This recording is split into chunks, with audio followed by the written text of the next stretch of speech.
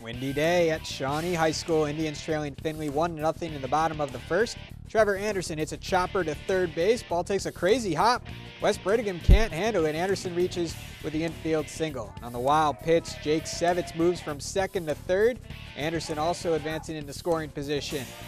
Chase Wilder.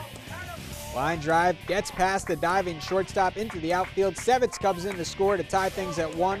RBI single for Wilder. And Blake Cassidy flies out to left.